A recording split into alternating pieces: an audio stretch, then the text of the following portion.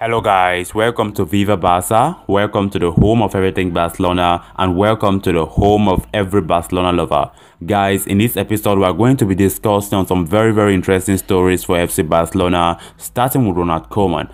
After reporting yesterday about the rumors that Koeman will stay but it was not really clear, guys, it's finally imminent. Koeman is set to be the Barcelona coach come next season. We are going to be elaborating more on that as we move ahead. Secondly, we are going to be discussing about Jordi Alba. Just recently, Jordi Alba had an interview and he reiterated that he wants to stay in Barcelona for life despite the rumors linking him to Atletico Madrid. So he's still saying he's there for life. We're going to be discussing much on that as we progress. Then thirdly, we discuss on Ousmane Dembele's future. While in the national team in France, Dembele had something to say about his contractual situation with Barcelona. Of course, we know Dembele's contract expires 2022 and of course he'll be a free agent by that time. So Dembele was like he's not in the haste to sign the contract, of course, and he's still very very optimistic about his future in Barcelona. We are going to be discussing much on that. Then lastly, we discuss about Junior Firpo. Of course, Junior Firpo have not had the best of performances since arriving in Barcelona in 2019. Just recently, West Ham have been interested in signing him. We are going to be discussing on that as well. So my fellow callers, before we move ahead, if you are new to this channel and if you haven't clicked on a subscribe button, please endeavor to do so to always stay up to date with everything Barcelona here on Viva Barca. Barca, Barca, Barca. A long drawn out saga with lots of debate seems to be nearing the end as Barcelona looks set to announce that Ronald Koeman will stay on as head coach for the upcoming season, the Dutchman is the focus of the Spanish media today. As highlighted by various reports and also the covers of Sport and Mundo Deportivo, Koeman will stay on for at least one more season and will have to accept reduced terms on his contract. His talks on the matter with President Joan Laporta have reportedly gone well. Ronald Koeman has had a fairly successful transition season in charge of Barcelona, but a few glaring problems were seen over the course of the campaign. The loss of La Liga in particular was a bitter pill to swallow. As a consequence, Koeman's future was in jeopardy heading into the first meeting with Joan Laporta. But since then, a lack of alternatives and the merits of Koeman have been taken into consideration as the Dutchman is now set to continue at least for one more season. Laporta has finally decided to bet on Koeman, even saying that at the moment he's closer to staying than leaving.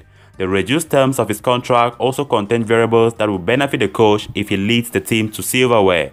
Mundo Deportivo also stated that there may even be an option to extend his contract for one more year, included as a clause, all of which will reportedly be made official on Thursday. Koeman never planned on resigning and was adamant on seeing out his contract at the very least. His belief to lead Barcelona's revolution had also played a role in the decision.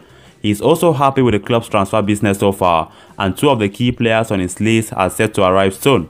The media also highlights the confirmation of Emerson Royal's signing, the right back has made an exciting return to Barcelona from his loan stint at Real Betis and will be competing with Sergiño Dest for a place in the first team. Moving on to the next story, Jordi Alba has been talking about his future lately and admits he wants to stay at Barcelona for the rest of his career.